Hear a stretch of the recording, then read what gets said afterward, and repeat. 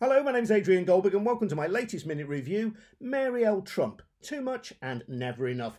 This book is timed to coincide with the run up to the US presidential election. A 211 page character assassination that doesn't set out just to tell us that Donald Trump is unfit for high office, but crucially, why. His niece Mary punctures the myth that Donald is a self made man as she details the numerous loans and backstage deals engineered on his behalf by his father, Fred, at the expense of her own dad, Fred Jr., who wouldn't bend to the patriarch and paid the ultimate price.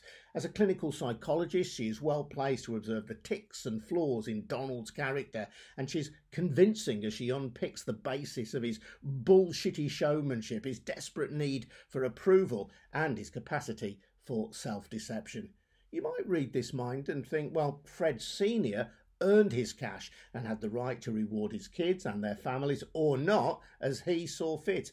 Mary clearly feels hard done by financially, and that is part of the source, at least, of her sense of anger and injury. Her vicious, unremitting analysis of her uncle, though, does have the ring of truth. Reading this, you sense that the future might well be bright, but it won't be orange.